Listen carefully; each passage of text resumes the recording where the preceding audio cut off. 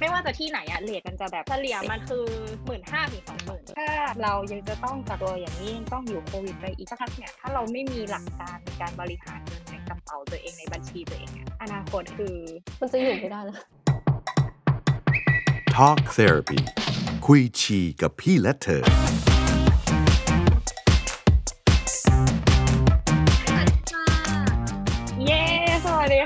เ h อร์พี่กลับมานะคะ ก็ episode นี้พิเศษหน่อย เพราะว่าเราสามคนนะคะ มีพี่โอมอยู่ตรงนี้ด้วยพี่โอมแนะนำกันนิดหนึ่งเออนะคนฟังเดี๋ยวงงเลยโอมคือใคร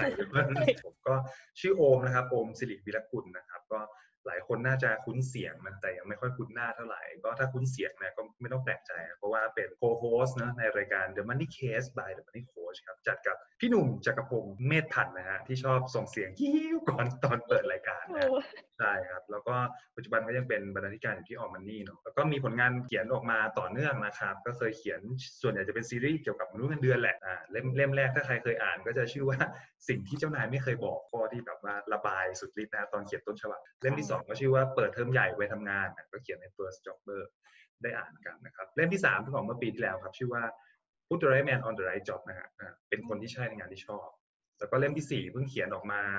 เมื่อไม่นานมานี้เองครับ ชื่อว่านี่เงินเดือนหรือเงินทอนก็เป็นหนังสือการเงินสบายๆนะครับ เล่มเล่มแรกด้วย แล้วก็เขียนภายใต้คอนเซปต์ audience ที่เป็นมนุษย์เงินเดือนเนี่ยครับว่าเอ้ยเรา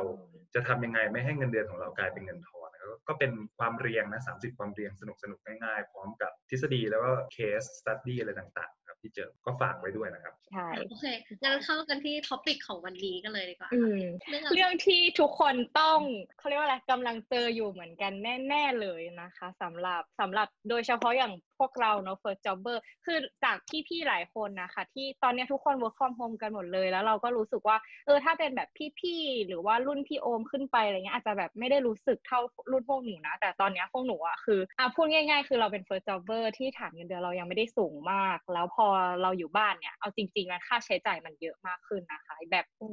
จากปกติที่เราไปออฟฟิศใช่ป่ะคะ เราก็อาจจะมีแค่ค่าเดินทางกับค่าอาหารที่เราก็จะแชร์แชร์เพื่อนได้อะไรเงี้ย แต่ว่าพออยู่บ้านค่ะพี่ออมน้องจีอย่างไอนี่คือแบบ รู้สึกว่ามันมีค่าใช้จ่ายอย่างเรื่องค่าไฟค่าแอร์แล้วเราก็แบบสายทำอาหารใช่ป่ะเราก็ขยันหาทำซื้ออมข้าว หุงข้าวทำกับข้าวตบด้วยทำบราวนี่ทำขนมหวานอีกค่ะเออ ก็รู้สึกว่าเออมันค่าใช้จ่ายเยอะเนอะงั้นวันนี้เรามาคุยเรื่องการเงินดีกว่า งั้นวันเนี้ยเรามาชวนพี่โอมมาแบบหยิบซักบางทฤษฎีได้ไหมคะ มาแชร์ให้พวกหนูฟังหน่อยว่า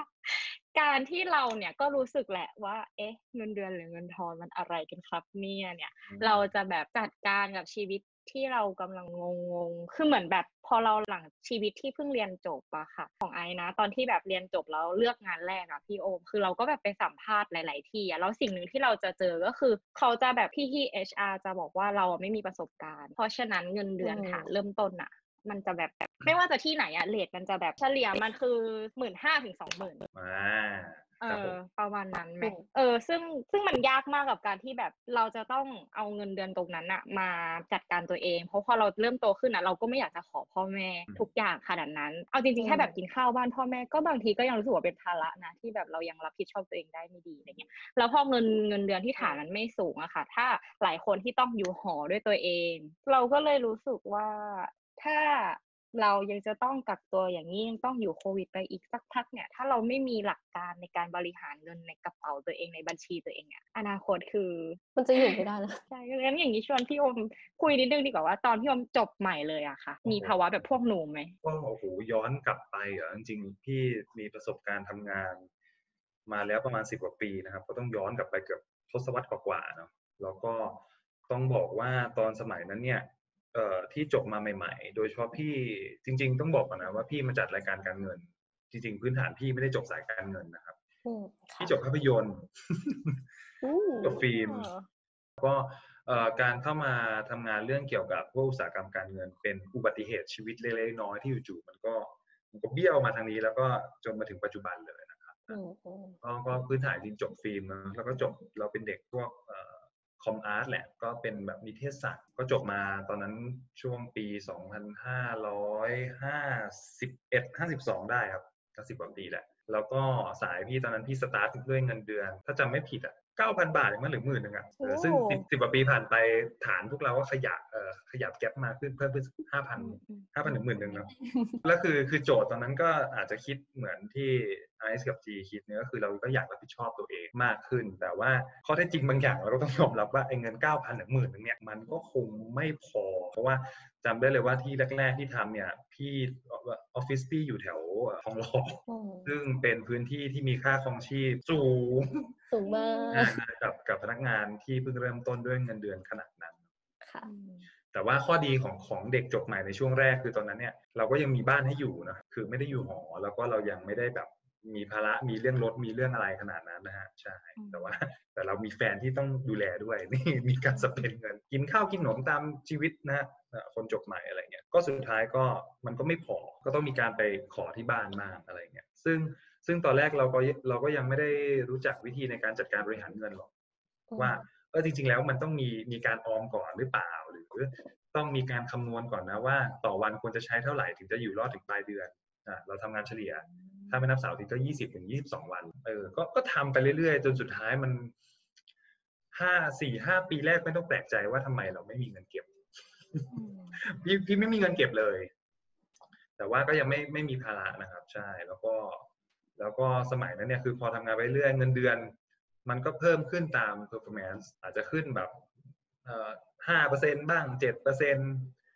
แปดเปอร์เซ็นอะไรเงี้ยยิ่งคนฐานเงินเดือนต่ำๆก็อาจจะถ้าทำงานดีหน่อยก็อาจจะขึ้นเยอะหน่อยสิบเปอร์เซ็นก็ถือว่าโอเคแล้ว แต่ว่าถ้าเทียบดูดีๆคือทำงานมาทั้งปี เงินเดือนหมื่นหนึ่งแม่งขึ้นมาสิบเปอร์เซ็นพันเดียว กินชาอืมกินอะไรว่าบุฟเฟ่ต์สามคน หมดแล้ว มันก็เลยเริ่มที่จะต้องกลับมาคิดนะครับว่าเอ้ยโอ้โหแล้วเราจะรอดได้ยังไงอะไรเงี้ย คือเคยเงินไม่พอแล้วก็บวกกับค่าเดินทางด้วยนะ คือตอนนั้นบ้านพี่กับพี่นำไกลมาก อืมจนจำได้ว่ามีอยู่วีคหนึ่งอะครับ มันสุดจะทนแล้วจริง ๆ ก็เลยเดินไปเอ่อพนมมือครับไปขอเจ้านายบอกว่าเออนายครับ ถ้าวีคนี้เนี่ย ผมขออนุญาตนอนที่ออฟฟิศได้ไหมครับ แล้วก็อ้างสารพัดนานาว่าเอองานกลัวไม่เสร็จไม่ทันกลัวไม่ต่อเนื่อง แต่จริงไม่ใช่แล้วคือมันมันเดินทางลำบาก อืม เราก็ใช้เงินเยอะอะไรอย่างเงี้ยนู่นนี่นั่นแต่ว่าตอนนั้นก็ก็เริ่มเอะใจกับตัวเองแล้วว่าเออทำไมเงินมันต่อเดือนไม่ไม่พอตลอดดังนั้นเนี่ยเราก็ต้องเริ่มมา แก้ที่ตัวเองก่อนก็คือเรื่องการสอบถามเพื่อนก่อนว่าเอ้ยเลทเป็นยังไงเงินเดือนเป็นยังไง แล้วก็มีวิธีในการจัดการยังไงบ้าง คือวิธีเนี่ยถ้าเราคิดไม่ออกการถามเป็นคำตอบที่น่าสนใจที่สุดอืมถามจากคนรอบข้างถามจากรุ่นพี่ที่ทำงาน อาจจะไม่ใช่ถามตรงๆนะถามเหมือนกันนะพี่เป็นไงบ้างวีคที่แล้วไปเที่ยวไหนมาครับ ไปกินอะไรมาอุ้ยแพงไหมพี่ ใช้เท่าไหร่พี่ใช้พอเหรอ เหลือเปล่าพี่พี่ทำยังไงบอกผมได้ไหมมันคือเป็นการขโมยแบบมีศิลปะหนึ่งอะเป็นการขโมยอ๋อเรื่องของวิธีคิดกับขโมยวิธี management ของผู้ที่มาก่อนเราอะไรเงี้ย เพื่อที่เราจะได้อืมค่ะตั้งต้นให้ถูก แล้วก็ลองดูว่าไอ้ไอ้ way ที่เขาใช้เนี่ยกับเราเนี่ยมัน match เรื่องของไลฟ์สไตล์เราด้วยไหมใช่คือ part แรกในช่วงแรกมันจะเป็นการขโมยไอเดียมากกว่า พื้นฐานยังไม่ได้ไปเปิด Google เปิดอ่านหนังสืออะไรขนาดนั้นแต่ว่าพอเรารู้แล้วเอ้ยมันมันมีวิธีคิดแบบนี้โดยเฉพาะเฮ้ยพี่นี่มันไม่ใช่งานออฟฟิศนี่ครับพี่ นี่งานอะไรครับ เราก็ค้นพบว่าเฮ้ยจริง ๆ แล้วเนี่ย เรา เออว่าเราเราเราลืม เราลืมนึกถึงต้นทุนของเด็กจบใหม่ไปนะอืมค่ะต้นทุนของเด็กจบใหม่คือ คือเรื่องของความสดใหม่ในเรื่องของความคิดสร้างสรรค์ ความกล้าที่จะลองร่างกายยังไม่สุดเท่าไหร่อะไรเงี้ยมีพลังเหลือเฟือที่จะที่จะลุยอะไรไปบางอย่างออกมาดังนั้นเนี่ยโอเคในการที่จะสร้างในเรื่องของรายได้ขึ้นมาอีกก้อนหนึ่ง งานเสริมอะไรต่างๆ เป็นอีกอีก part หนึ่งที่ที่พี่รู้สึกว่าโอ้โหเด็กจบใหม่ควรที่จะต้องโฟกัสคือ คือไม่ใช่แค่ว่าเชียร์แค่ไปเอารายได้นะอืมแต่เรารู้สึกว่ามันคุ้มค่าทั้งเรื่องของ knowledge แล้วก็ skill ใหม่ๆ ที่เราจะเรียนรู้กับกับงานนอกเหนือจากสิ่งที่เราทำบวกกับ connection ด้วยมันได้อะไรเยอะมากเลย แต่ว่าทีนี้เนี่ยมันก็เลยมีคำถามใหญ่ขึ้นมาก้อนเบ้อเร่อและเป็นเครื่องหมายคำถามเลยว่า โอเค เรารู้หลักการเรารู้วิธีการหาเงินเพิ่มนะนอกเหนือจากประหยัดหารายได้เพิ่มเนี่ยคำถามสำคัญคือ แล้วใครจะมาจ้างเราอืมใช่ไหมฮะแล้วใครจะมาจ้างเรา คือถ้าเรายังไม่มีพอร์ตยังไม่มีฝีมือที่จะทำให้คนอื่นเห็น การสร้างความรู้จักกับผู้คนในรอบตัว คือการสร้างโอกาสที่ดีกับหน้าที่การงานแล้วก็รายได้ในอนาคต อันนี้จากประสบการณ์ที่เคยบอกมานะครับแล้วยิ่งที่เวลาเราทำงานนะเราทำงานสายคอนเทนต์สายสื่อสารสายอะไรเงี้ยในสายตาของเด็กจบใหม่อะ มันอาจจะกว้างก็ได้ คิดว่าโอ้ยเดี๋ยวเลิกลาไปแล้วย้ายที่ทำงานไม่เจอกันหรอก แต่หารู้ไหมว่าจริงๆ แล้ว โลกโลกการทำงานมันแคบกว่าที่เราคิดนะฮะอืมค่ะวันดีคืนดีเราอาจจะมาบรรจบกันก็ได้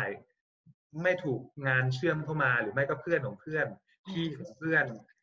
น้องของนายมันมีสิทธิ์ที่จะมาบรรจบกันอืมฉะนั้นหนึ่งคือพยายามสร้างคอนเนคชันนะ สร้างมนุษยสัมพันธ์ที่ดี อย่าสร้างศัตรูทิ้งไว้เยอะอืมๆมันไม่ดีเลยอะไรเงี้ยอืมมันก็จะเป็นโอกาสใหม่ ๆ ที่จะทำให้เรา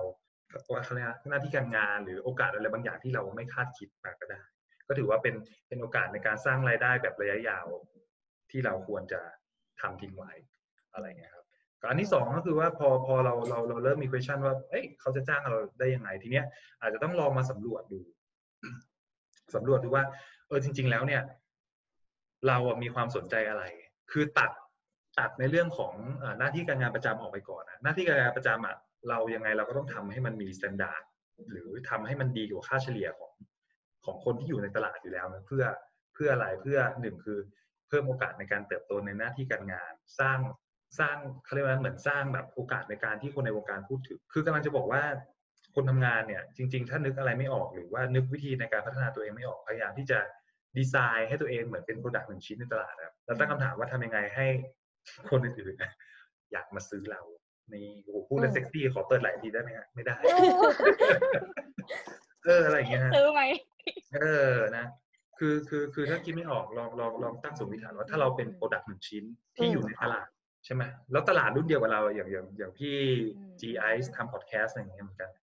โอ้โหคนแบบในตลาดคู่แข่งเยอะมากเลย ถ้าเราไปสังเกตจาก อะวิธีวัดผลจาก Apple Podcast Spotify ที่จะอันดับคู่แข่งเยอะมากเลยแต่ว่าเราจะทำยังไงให้ ให้เราเป็น product ที่มันอยู่ในอุตสาหกรรมเนี่ยแต่ว่ามันมีความโดดเด่นขึ้นมาอืมค่ะวิธีคิดการทำงานก็เหมือนกัน เราก็ต้องมามาหาจุดแข็งของตัวเอง อาจจะต้องลองมอนิเตอร์ว่าโอเค เราทำงานสายคอนเทนต์แหละแต่คอนเทนต์มันกว้างมาก เราอยู่ในคอนเทนต์ประเภทอะไร เล่าสไตล์ไหนรูปแบบแบบไหน คู่แข่งจริงของเราถ้าลูกค้าจะต้องมาเลือกเราอะถ้าเทียบกันแล้วอะ เราจะมีจุดตัดที่ทำไงให้ลูกค้าเขาจิ้มเรา แล้วก็เลือกเราอย่างสม่ำมันมีอะไรบ้างดังนั้นการกลับมาวิเคราะห์ตัวเองด้วยการแทนตัวเองว่าตัวเองเป็น product product หนึ่งที่อยู่ในน่านน้ำการแข่งขันแบบนี้อะไรเงี้ยอะไรที่จะทำให้เราโดดเด่นและอะไรที่จะทำให้เรา sustain อยู่ในอุตสาหกรรมนี้ต่อไปได้เรื่อยๆ เป็น top of mind ของคนที่อยากจะใช้เราอืมอ่าอะไรเงี้ยครับอืมอันนี้ก็เลยเป็น เป็นวิธีวิธีคิดเนอะสำหรับการที่พยายามที่จะหางานหาเงินหาจุดยืนของตัวเอง หรือ positioning ของตัวเองนั่นแหละสำหรับสำหรับเด็กจบใหม่ ถึงแม้ว่าในช่วงแรกมันอาจจะพี่ไม่ปฏิเสธนะว่ามันจะยากลำบากหมายว่ายากลำบากในแง่ของหนึ่งคือต้องปรับตัว ต้องขวนขวายต้องเรียนรู้เยอะต้องนอนน้อยกว่า ชาวบ้านชาวช่องเขาแต่สิบปีแรกพี่ว่าเป็นเป็นพีเรียดที่สำหรับพี่มันเหมือนจะเป็นสปริงบอร์ดที่จะนำเราไปสู่อีกสิบปีถัดไป ยี่สิบถึงสามสิบมันอาจจะกำหนดได้เลยว่า รูปแบบชีวิตหรือหน้าที่การงานของเราในช่วงเลนส์ระหว่าง 30ถึง40 จะไปได้แค่ไหน พี่ว่าช่วงต้นทุนของ 20 30เนี่ยเป็นอะไรที่ที่ต้องโฟกัสเยอะๆ ต้องลงทุนมากๆ ถึงแม้ว่าหลายคนอาจจะบอกว่าเอ้ยพี่หนูยังหาตัวเองไม่เจอเลยอะไรอย่างเงี้ยซึ่งคำถามนั้นเนี่ยพี่ก็เจอนะ เชื่อไหมว่าพี่อะจบภาพยนตร์เนาะแต่ว่าสุดท้ายแล้วเนี่ยเราก็มีความชื่นชอบในแง่ของอีกศาสตร์หนึ่งก็คือศาสตร์โฆษณา เราอยากเป็นเอ่อ copywriter เราอยากเป็นอะไรพวกนี้ครับใช่แต่ว่าเราก็ยังชอบในเรื่องของงานเขียนบทงานอะไรที่มันเป็นแบบ writing อะไรต่างๆ แต่เราเพียงแค่ว่าเราอาจจะไม่ค่อยชอบงานโปรดักชันอะไรอย่างเงี้ยนู่นนี่นั่นเราก็พยายามที่จะหาในพื้นที่ของเราเออมันมีงานลักษณะไหนที่มันสามารถตอบสนองเราได้บ้างไหมแต่ว่าแน่นอนว่ามันไม่ได้ร้อยเปอร์เซ็นต์นะอะไรเงี้ยแต่เพียงแต่ว่ามันก็ต้อง adapt ในการปรับใช้ไปแล้วก็การที่ไม่ร้อยเปอร์เซ็นต์หมายว่าไอ้สัดส่วนเปอร์เซ็นต์ที่มันไม่ตอบสนองเราอะ พยายามบิดมุมมองนิดนึงว่าโอเคอย่างน้อยเราก็ไป learning อะไรใหม่ๆในในสิ่งที่เราคิดว่าเออมันน่าจะขัดเกลาเราได้ แล้วก็เอามา match กับกับ skill ที่มันน่าจะสามารถสร้างรายได้สร้างเงินเพิ่มให้กับเราได้ด้วยอ่าอืมใช่แล้วอย่างแบบนอกจากเรื่องของ connection กับแบบการที่มองตัวเองเป็น product อะไรเงี้ยพี่โอม มันมีวิธีอื่นไหมคือรู้สึกว่าช่วงเนี้ย เพื่อนหนูอะเขาคิดเล่นแบบพวกการลงทุนคริปโตเคอเรนซีอะไรพวกนี้มากแล้วแบบเหมือนพี่บิ๊กเคยบอกหนูว่า ยิ่งลงทุนตอนเด็กๆอะ ยิ่งดี ใช่ แต่คืออย่างพวกหนูอะค่ะ คือเงินเดือนมันก็ไม่ได้เยอะมาก คือถ้าเราแบ่งสัดส่วนว่า โอเค เงินเดือนได้เท่านี้ เราเก็บประมาณเท่านี้เท่านี้อืมเราจะเอาเงินประมาณส่วนไหนไปลงทุนครับหรือว่าอย่างของไอเองอะค่ะ พี่ๆใน The Standard Podcast นี่แหละก็แนะนำว่าก่อนจะลงทุนอะถ้าอยากแบบ play safe อะก็ ให้เก็บเงินให้ได้สองเท่าของแบบเงินเดือนของเราเหมือนไม่ถึงอืมไม่ใช่สองเท่าสิหมายถึงว่าเอาเงินเดือนของเราอะ คูณหกอะไปก่อนอะ เป็นเงินสำรองฉุกเฉินประมาณนั้นใช่ใช่ใช่แล้วค่อยแบบจะเราค่อยมากระโดดมาสู่โลกที่ว่าเอ้ยเราต้องมาเจอกับความเสี่ยงต่างใช่ครับ ก็คือจริง ๆ เรื่องของหลักการที่ต้องจีกับน้องไอพูดอะเห็นเห็นเห็นด้วยหมดเลย ตั้งแต่เรื่องของการออมการออมก่อน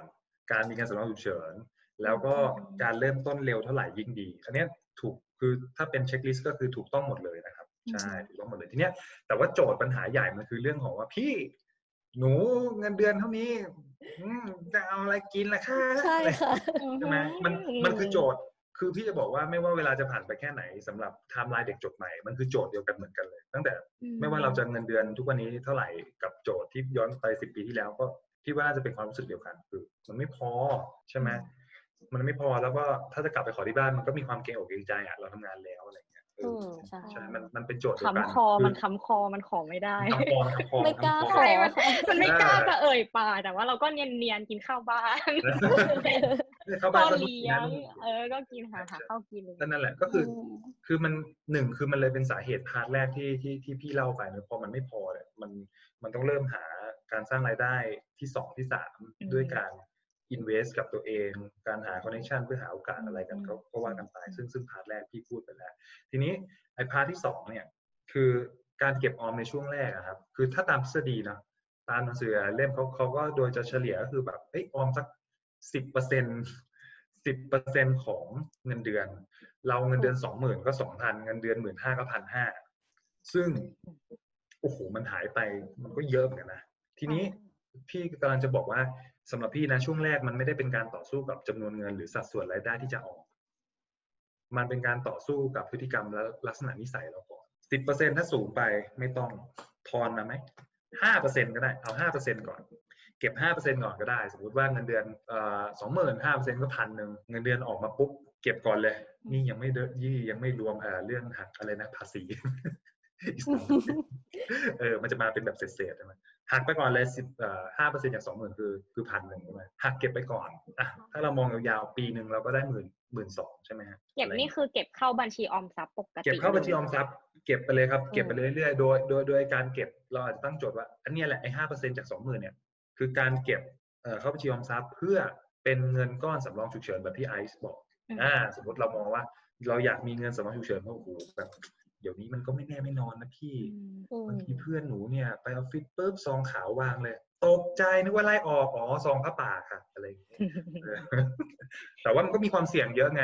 ใช่ไหมครับ ดังนั้นเนี่ยสมมติใช่ว่ายิ่งโควิดแบบนี้ด้วยเนอะเราไม่รู้ใช่เลยว่าแบบบริษัทจะโฮเราไหวไหมถูกต้องอะไรถูกต้องถูกต้องอืมถูกต้อง ดังนั้นช่วงนี้เวลาใครทำงานก็พยายามสังเกตสีหน้าผู้บริหารไม่ดีนะถ้าสีหน้ายิ้มแย้มแจ่มใสแสดงว่าโอเคทำตัวเองนะแต่เครียดๆแล้วอื้อหือต้องต้องออมมาเยอะครับต้องออมเยอะเออก็คือ โอเคสมมติไอซ์กับจีบอกว่าเนี่ยหนูเฉลี่ยใช้เงินเอ่อต่อเดือนอะเงินเงินเดือนอะสองหมื่นก็จริง แต่ว่าจริงๆใช้เฉลี่ยต่อเดือนอะมันมันมันเกินมาว่ะพี่มันเฉลี่ยต่อเดือนสามหมื่นอะไรอืเงี้ยมดังนั้นก็เลยตั้งโจทย์ไว้เลยว่าโอเค ฉันจะเก็บเอ่อเงินสำรองฉุกเฉินอะเอาสักหกเดือนก่อนก็ได้อ่าหกเดือนก่อน เดือนละแบบสามหมื่นหกเดือนก็ต้องมีเท่าไหร่แสนแปดซึ่งมันเยอะมากนะซึ่งมันเยอะมากเลย แต่ว่าไม่เป็นไรก็คืออันนี้เป็นเป้าไว้แต่ว่าเราก็ลองทำในสิ่งที่ต้นทุนที่เรามีก่อนก็คือการการต่อสู้กับพฤติกรรมแล้วก็นิสัยอะอืมออมไปเลยพันหนึ่งห้าเปอร์เซ็นของสองหมื่นออมไปออมไปออมไปเรื่อยๆ ระหว่างทางก็เอาวิชาในสิ่งที่ที่เราแลกเปลี่ยนกัน พี่มีอะไรให้หนูช่วยไหมอย่างวันเนี้ยเรามาคุยกันละพี่รู้ว่าเฮ้ยโอ้โหจี เก่งภาษาอังกฤษมากไอซ์ใช่แบบจับประเด็นเก่งมากเฮ้ย พี่มีงานให้น้องเดี๋ยวนอกรอบอะไรเราก็แบบไม่บอกเราเป็นขอบคุณค่ะเออโอ้โหขอบคุณตอนนี้เลยเหรอครับ ขอบคุณตอนนี้เลยค่ะเออโอ้โหเป็นงานเรามากต้องเอาตอนที่แบบจอกำลังเลคคอร์ดเนี่ยนะคะทุกคนเออเป็นหลักฐานเป็นหลักฐานใช่ไหมครับเก็บหลักฐานฉันดีเก็บหลักฐาน เป็นงานแบบเศรษฐกิจเชิงระบบนิเวศซึ่งกันและกันเออมันมันคือระหว่างทางที่เราออมที่เราฝึกนิสัยฝึกอะไรไปอะไรเงี้ยเราก็พยายามสร้างโอกาสไปด้วย แล้วก็ อันที่สองก็คืออาจจะต้องลองกลับมาทำเรื่องของบัญชีรายรับรายจ่าย ซึ่งอันเนี้ยเป็นสิ่งที่ง่ายมาก แต่ว่าหลายคนมักจะพลาดไป บัญชีรายรับรายจ่ายมันเหมือน มันเหมือนเป็นการทำตัว Data ให้กับตัวเราแบบหนึ่งอะเราอาจจะตีไปเลยครับว่าแบบเนี้ยเอ่อวันนี้วันที่ใช่ไหมรายจ่ายเขียนเมเมนูรายจ่าย มีอะไรบ้างอะไรเงี้ย ซึ่งพอครบเดือนเนี่ยเราสามารถเอามาวิเคราะห์แล้วก็ดีไวซ์อีกทีหนึ่งว่า เอ้ยเดือนเนี้ยทำไมฉันไปกินแบบ ชาบูชิ หรือแบบชาบูต้องสี่รอบเนี่ยอะไรอย่างเงี้ยคืออืมคือบางอย่างเนี่ยข้อมูลที่มันอยู่ในสมุดบัญชีอะมันสามารถประเมินเรื่องของพฤติกรรมเราจำนวนเงินสัดส่วนที่มันถูกใช้ไปเยอะ รวมถึงสุขภาพด้วยนะอืมอุ้ยไม่แบบสัปดาห์นี้ซื้อสแน็คเยอะจังเลยอะน้ำหนักฉันขึ้นมาเนี่ยอะไรเครียดเลยอะไรเงี้ยคือ คือบัญชีจะเป็นตัวบอกทุกอย่างแล้วมันบัญชีจะเป็นตัวพิจิตรอนาคตอันใกล้ได้ด้วยครับว่า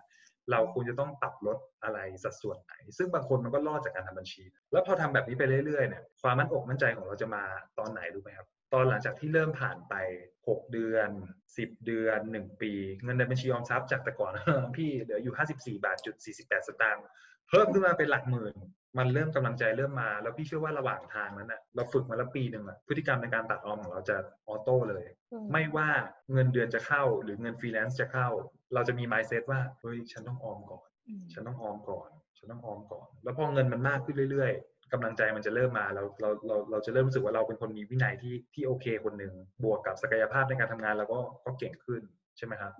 บางปีแบบอาจจะเป็นโบนัสเลยก็ได้คือโอ้เงินบัญชีออมทรัพย์เพิ่มเอ่อ performance ดีถูกปรับเงินเดือนขึ้น งานฟรีแลนซ์เข้ามาอีกอืมนั่นหมายความว่าโอ้โหช่วงระยะเวลาหนึ่งในการที่จะเป็นจุดเปลี่ยนเนี่ยเรามีรายได้ที่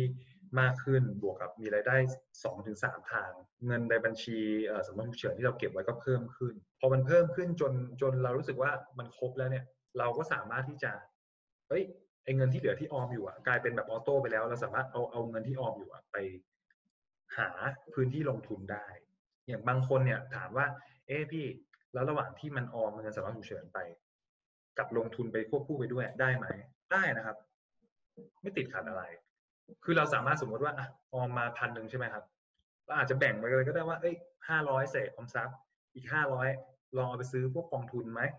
อะไรอย่างเงี้ยอืมควบคู่ไปด้วยก็ได้ เพื่อไม่ให้เสียเวลาและเสียโอกาส คือสิ่งสำคัญของต้นทุนของเด็กจบใหม่คือเวลาครับคือเวลา คือเอาง่ายๆว่าเอ่อการเริ่มต้นลงทุนน่ะ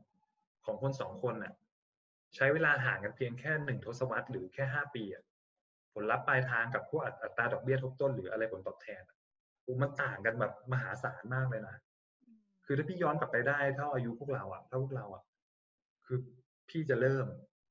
แล้วก็บางกองทุนเนี่ยห้าร้อยก็เริ่มได้แล้วอะไรเงี้ยร้อยหนึ่งก็เริ่มได้แล้วอะไรเงี้ยเออคือ คือกลายเป็นว่าอย่าหมิ่นเงินน้อยนะเพราะว่าจริงๆสูตรความสำเร็จของของการบริหารจัดการเงินมันมีอยู่แค่สามข้อหลักๆครับ คือหนึ่งเรื่องเงินต้น อ่าถ้าเงินต้นเยอะก็ดี แต่ถ้าเงินเงินเงินต้นเอ่อไม่เยอะไม่เป็นไร เรามาดูข้อสองคือระระยะเวลา ถ้าระยะเวลาเยอะ แต่เงินต้นยังไม่เยอะเนี่ยมันก็สามารถที่จะช่วยทำให้ผลตอบแทนมันเติบโตขึ้นได้เหมือนกัน อาศัยระยะเวลาที่มันยาวนานขึ้น แล้วก็ระหว่างทางเราก็ไม่ใช่ว่าจะใช้เงินห้าร้อยบาทไปตลอดชีวิตใช่ไหมเออเงินเดือนขึ้นเราก็สามารถทบให้มันแบบมากขึ้นมากขึ้นไปเรื่อยๆอันที่ข้อที่สามคือเรื่องของอัตราผลตอบแทนอะไรเงี้ย ถ้าเราถ้าเราเข้าใจเรื่องของเอ่อเครื่องมือการลงทุนที่ชัดเจนนะเข้าใจอย่างโปร่งใสแล้วก็รับความเสี่ยงได้อะไรเงี้ยตรงเนี้ยมันก็สามารถที่จะเอาเงินต้นกับระยะเวลาที่เรามีอยู่อะสร้างอัตราผลตอบแทนที่แบบว่าโอ้โหมันมันเติบโตแบบมหาศาลเลยถ้าถ้าถ้าเราลงทุนแบบถูกที่ถูกทางแล้วก็รับความเสี่ยงได้ในอืมในในการลงทุนใช่ก็จะเป็นสามข้อนะที่ที่เนี่ยมันมันเป็นเครื่องมือสำคัญสำหรับ เด็กจบใหม่ที่อยากจะเริ่มต้นเก็บเงิน แล้วก็อยากเห็นเงินเติบโตในการลงทุนอะไรอย่างเงี้ยอ๋อจะถามว่าอะไรอย่างเนี้ย ตอนที่พี่โอมเริ่มตัดสินใจซื้อ อาจจะเป็นหุ้นหรือว่ากองทุนอย่างเงี้ย ครั้งแรกเลยอะมันแบบอาศัยหลักการอะไรในการตัดสินใจ เพราะว่าไอเข้าใจว่า คนส่วนใหญ่ในรุ่นไอกับจีเนาะน่าจะทุกคนจะเข้าใจแล้วแหละว่ากองทุนคืออะไร หุ้นคืออะไร ออมทรัพย์ปกติคืออะไร แต่ว่าอืมความยากมันคือการที่เราอะอ่านทุกกองทุนอ่านไปเรื่อยแล้วก็ยังตัดสินใจไม่ได้ หรือว่าหุ้นก็ยังตัดสินใจไม่หรือว่าเอ่อบิตคอยอย่างเงี้ยมันก็มีแบบมันมีทริคอะไรไหมหรือว่าเกณฑ์ขั้นต่ำอะไรที่เราแบบสามารถเอามาช่วยกรองได้ก่อนจะตัดสินใจลงทุนในแต่ละครั้งอืม คือเวลาที่เราอยาก เขาเรียกว่าไงอยากรู้อะไรใช่ไหมครับ หรืออยากได้ผลลัพธ์อะไร แบบโอ้ยทำไมคนนั้นเขาสวยจังเลยอ๋อเขาไปเกาหลีมาอุ้ยทำไมเขาสวยจังเลยครับเขาอ๋อเขาเจ๋งคือหลักการง่ายๆเลยคือ มองผลลัพธ์กับคนที่ที่เกิดขึ้นแล้วอืมแล้วก็ตั้งคำถามใส่เขาเยอะๆทำไมเขาถึงเก่งจังทำไมเขาถึงรวยจังทำไมเขาถึงทำถึงทำงานเก่งจัง มันมีสำหรับพี่มีมีมีมีประมาณนี้แค่นั้นเอง แต่ว่า แต่ว่าสิ่งที่มากกว่านั้นก็คือการการ track ว่าเฮ้ยเขามีวิธีคิดอะไรทำไมเขาถึง ถึงมีผลลัพธ์แบบนี้เกิดขึ้น process ระหว่างทางต่างหากมันคือสิ่งที่น่าสนใจในการที่เราต้องแคะออกมา มันเป็นหนึ่งคือมันก็เป็นการ learning ของเราด้วยสองคือมันก็เป็นการถอดโมเดล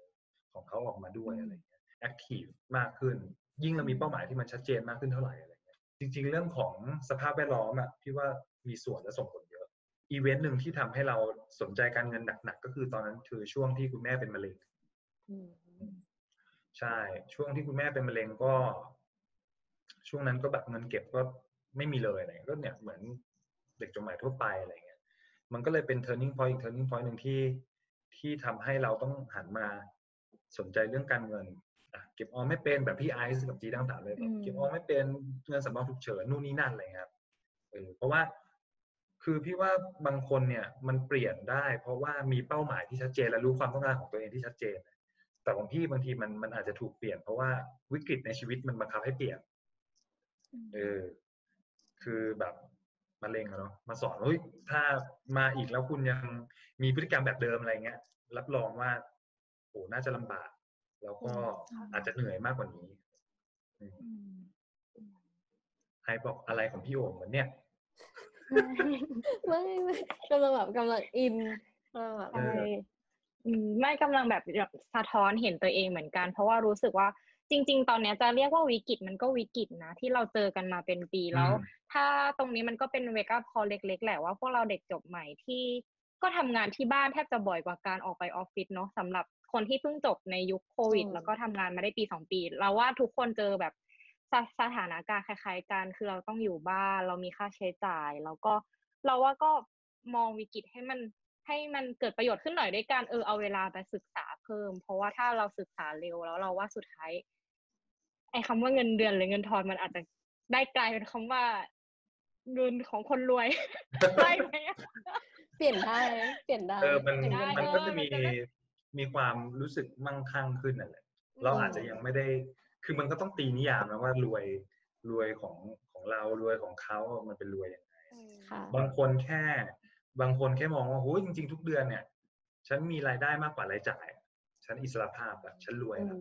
มฉันไม่มีข้อกังวลแล้วอะไรอืมถ้ามัน cover หมด แต่บางคนก็ตีว่ารวยเนี่ยฉันต้องมีถึง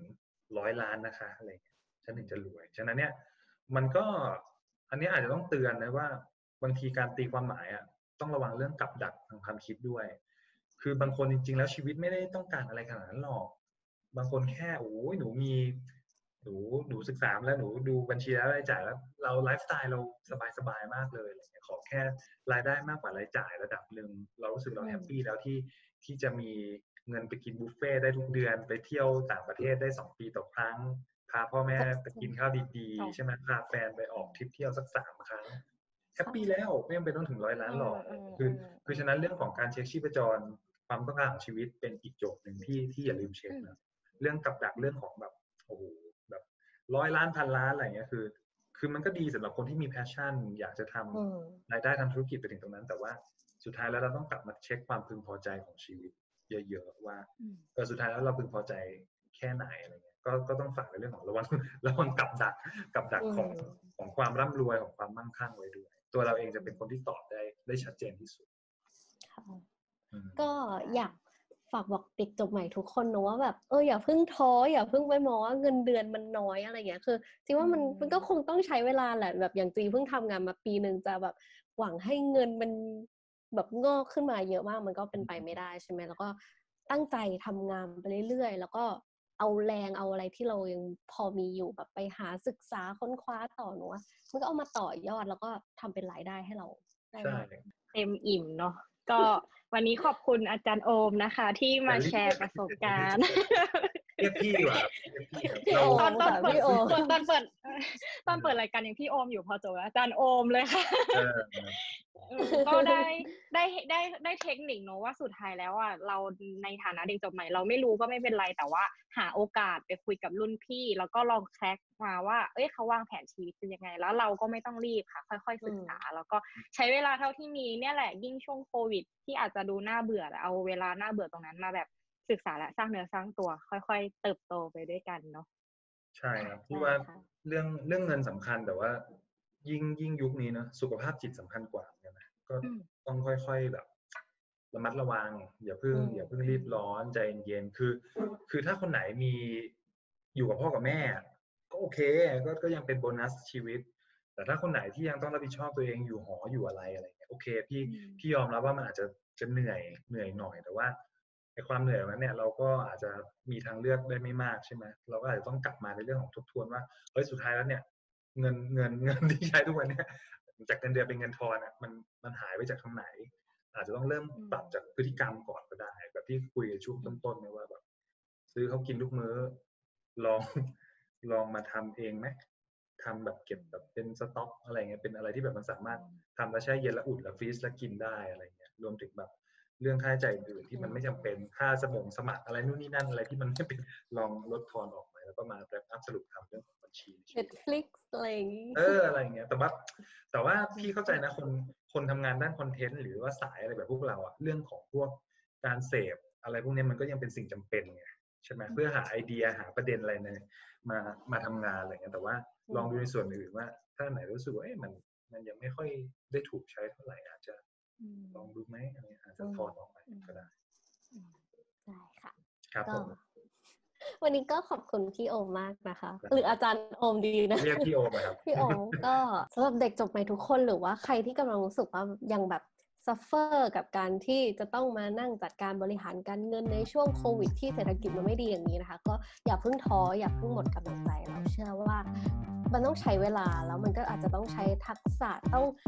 ไปฝึกแบบค้นขวาคนขวายหาความรู้เพิ่มขึ้นมานิดนึงเพื่อที่จะแบบสร้างรายได้ต่อไปเรื่อยๆ แล้วว่าเออทุกคนก็น่าจะผ่านไปได้เหมือนกันนะคะ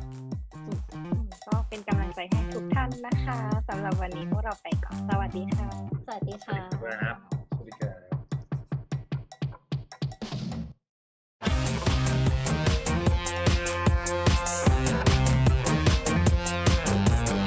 สำหรับเพื่อนๆที่กำลังรู้สึกว่าเหนื่อยทำไมการเติบโตมันยากจัง เราสองคนอยากบอกว่า เฮ้ยมันไม่เป็นไรเลย ค่อยๆเรียนรู้แล้วก็มาเติบโตไปพร้อมกัน และถ้ามีเรื่องราวหรือประเด็นอะไรที่รู้สึกว่ามันทำให้ suffer กับชีวิตเหลือเกิน แล้วอยากจะมาแชร์ อยากให้เราเอามาคุยกับพี่ๆ host the standard ก็สามารถส่งข้อความ direct message มาได้ที่ Twitter and IG Talk Therapy นะคะ The Standard Podcast. Eye opening for your ears.